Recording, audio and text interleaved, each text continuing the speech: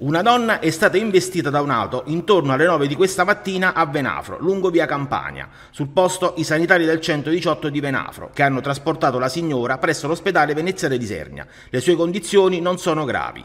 Alla guida dell'auto una ragazza che si è subito fermata a prestare soccorso. Intervenuti anche i carabinieri per i rilievi del caso. È il secondo investimento lungo via Campania nel giro di poche settimane. Per fortuna entrambi senza gravi conseguenze.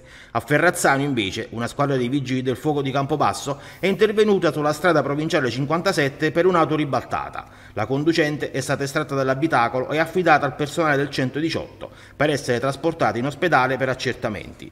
Sul posto era presente anche la polizia stradale per i rilievi del caso.